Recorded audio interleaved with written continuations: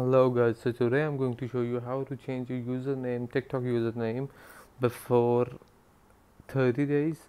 So first of all make sure go to your app store and check if your tiktok is updated to the latest version. And now let's go to the tiktok app. Go to your profile and there will be option of edit profile. Go to edit profile and click on the name option and there it is. If if I'll change my name it will give me option of it will say that you cannot change it until 30 days. So to get ahead of this problem you all you have to do is go to your settings on your iphone and go to general.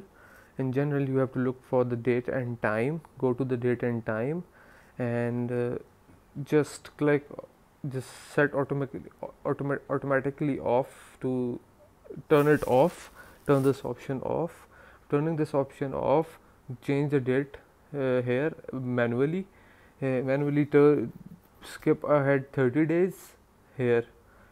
And when you will skip ahead 30 days here your phone time will change and when you will open the tiktok app it will automatically automatically give you option for changing your username. And it will not it will not say of 30 days time because you have manually changed the date and time here in your settings. So this is how you can change your username before 30 days. So i hope you liked the video and found the solution to your problem. Kindly like the video and subscribe the channel. Thank